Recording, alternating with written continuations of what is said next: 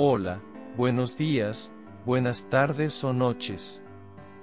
Queridos hermanos y hermanas, nos reunimos de nuevo hoy jueves, 16 de noviembre, para rezar el Santo Evangelio de hoy. Bienvenido a nuestro canal, donde cada día compartimos un mensaje de esperanza y reflexión. Hoy, nos sumergiremos en las inspiradoras palabras del Evangelio del día, buscando guía e inspiración para nuestras vidas. Si buscas paz, consuelo o simplemente un momento de reflexión, estás en el lugar adecuado. Creemos que la palabra de Dios tiene el poder de iluminar nuestros corazones y guiarnos en nuestro camino. Sea cual sea tu camino o tus creencias, te invitamos a unirte a nosotros en este viaje de fe y descubrimiento. Juntos, exploraremos los mensajes atemporales y universales contenidos en las Sagradas Escrituras. No te pierdas ni un solo vídeo y forma parte de esta comunidad de búsqueda espiritual. Haz clic en el botón de suscripción y activa las notificaciones. Gracias por acompañarnos en este momento de reflexión y fe. Hasta la próxima, que la paz te acompañe. Una vez más nos reunimos para orar y adorar a Dios. Dios Todopoderoso Padre. El Creador del cielo y de la tierra. Amén. Primera lectura. Comienzo del libro de la sabiduría, capítulo 7, versículos 22 al 30, y capítulo 8, versículo 1. La sabiduría es un espíritu inteligente, santo, único y múltiple, sutil, ágil y penetrante, inmaculado, lúcido e invulnerable, amante del bien, agudo y libre, bienhechor, amigo del hombre y amable, firme, seguro y sereno, que todo lo puede y todo lo ve, que penetra en todos los espíritus. Los inteligentes, los puros y los más sutiles. La sabiduría es más ágil que cualquier movimiento y, por ser inmaterial, lo atraviesa y lo penetra todo. La sabiduría es un resplandor del poder de Dios, una emanación purísima de la gloria del Omnipotente, por eso nada sucio la puede contaminar. Es un reflejo de la luz eterna, un espejo inmaculado de la actividad de Dios y una imagen de su bondad. ¿Ella sola lo puede todo? Sin cambiar en nada, todo lo renueva entra en las almas de los buenos de cada generación, hace de ellos amigos de Dios y profetas, porque Dios ama solo a quienes conviven con la sabiduría. La sabiduría es más brillante que el sol y que todas las constelaciones. Si se la compara con la luz del día, la sabiduría sale ganando, porque al día lo vence la noche, pero contra la sabiduría, la maldad no puede nada. Ella se extiende poderosa de un extremo al otro del mundo y con suavidad gobierna todo el universo. Palabra del Señor. Gloria a ti, Señor Jesús. Evangelio. Lectura del Santo Evangelio según San Lucas, capítulo 17, versículos 20 al 25. En aquel tiempo, los fariseos le preguntaron a Jesús, ¿Cuándo llegará el reino de Dios? Jesús les respondió. El reino de Dios no llega aparatosamente. No se podrá decir. Está aquí, o está allá, porque el reino de Dios ya está entre ustedes. Les dijo entonces a sus discípulos. Llegará un tiempo en que ustedes desearán disfrutar siquiera un solo día de la presencia del Hijo del Hombre y no podrán. Entonces les dirán, Está aquí, o está allá, pero no vayan corriendo a ver, pues así como el fulgor del relámpago brilla de un extremo a otro del cielo, así será la venida del Hijo del Hombre en su día. Pero antes tiene que padecer mucho y ser rechazado por los hombres de esta generación. Palabra de salvación. Gloria a ti, Señor Jesús. La llegada del reino. Jesús no presenta el reino de Dios como algo fantástico o exuberante. Sus palabras son profundas y sencillas, el reino de Dios está entre vosotros. En el Nuevo Testamento, la palabra griega para reino es basileia, que no se refiere a un lugar concreto, sino al dominio de un gobernante. En los Evangelios, Jesús utilizó esta palabra más de cien veces.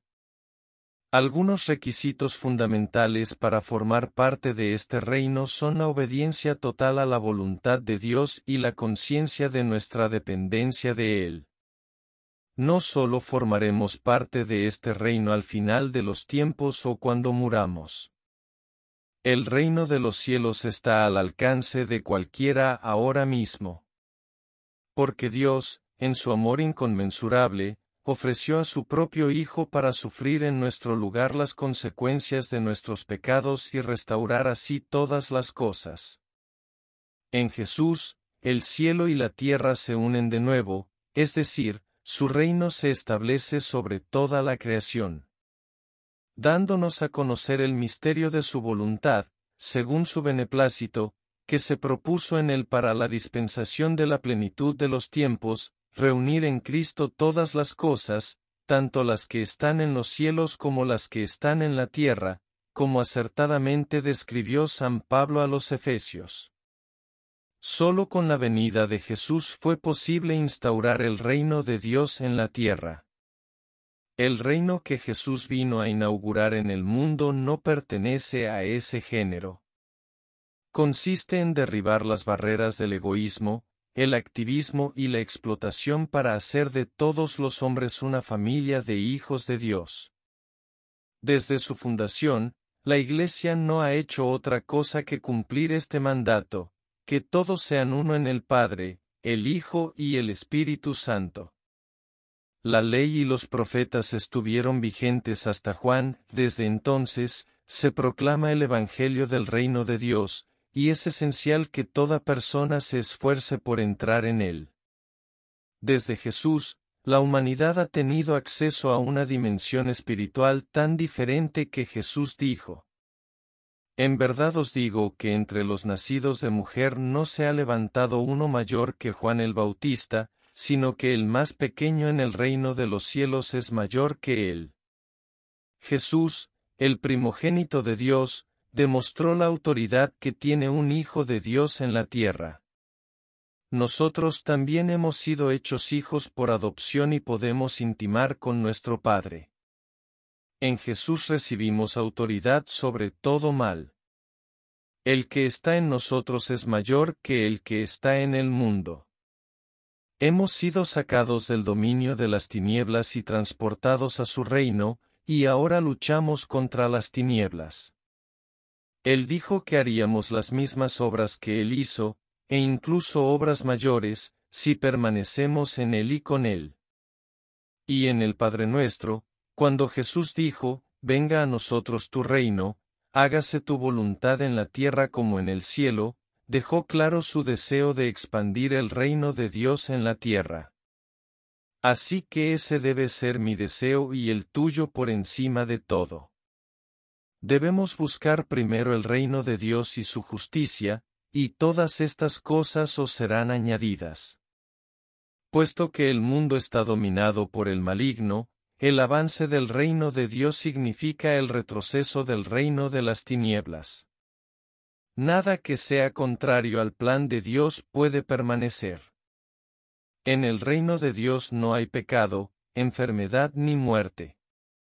La oportunidad de disfrutar del reino está abierta a todos, pero la puerta de entrada es el arrepentimiento.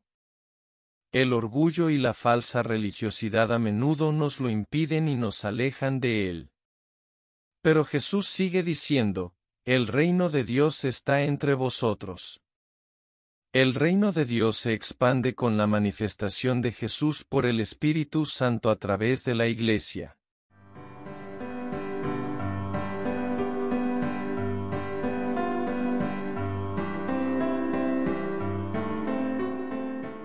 Creo en Dios Padre, Todopoderoso, Creador del cielo y de la tierra. Creo en Jesucristo, su único Hijo nuestro Señor, que fue concebido por obra y gracia del Espíritu Santo, nació de Santa María Virgen.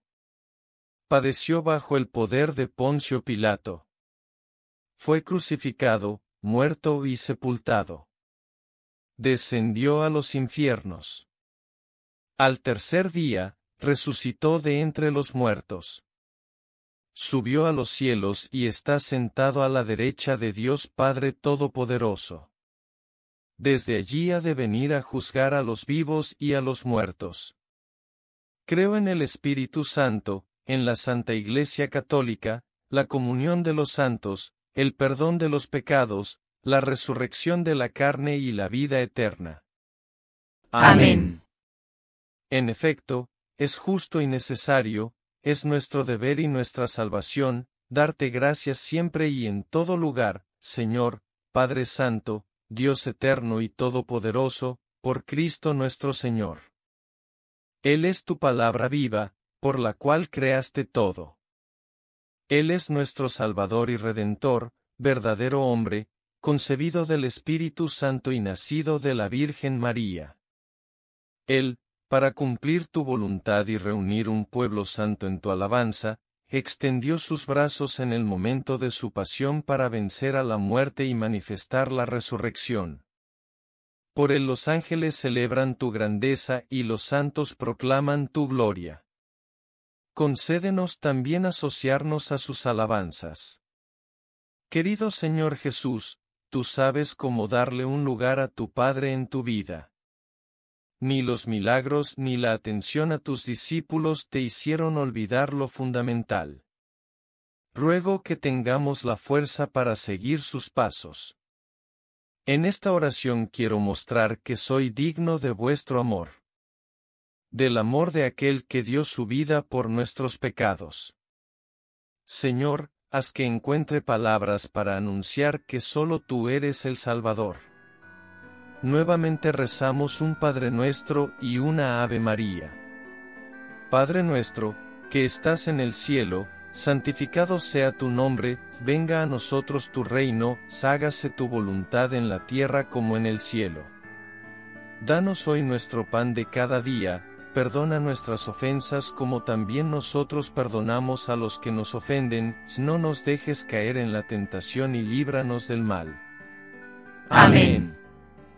Dios te salve, María, llena eres de gracia, que el Señor es contigo, bendita tú eres entre todas las mujeres y bendito es el fruto de tu vientre, Jesús. Santa María, Madre de Dios, ruega por nosotros, pecadores, ahora y en la hora de nuestra muerte. Amén. Por la señal de la Santa Cruz, de nuestros enemigos líbranos, Señor Dios nuestro. En el nombre del Padre, del Hijo y del Espíritu Santo. Amén. Este canal fue creado para llevar la palabra de Dios a todos los hermanos y hermanas de habla hispana. A través de la oración diaria, podemos sentir la presencia de Jesús, nuestro divino Padre Eterno, nuestra amada Madre María y todos los santos en nuestros corazones. Trabajamos con el máximo compromiso para producir audio y video de calidad para anunciar la palabra de Dios.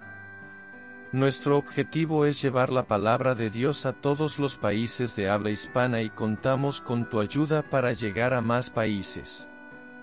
Actualmente, solo el 4% de las personas que ven nuestros videos están suscritas al canal. Por eso te pedimos dale me gusta, comenta, suscríbete y activa la campanita para recibir nuestras notificaciones cada vez que tengamos un nuevo video al aire. Comparte con tus amigos y comenta tu nombre y la ciudad o país donde vives.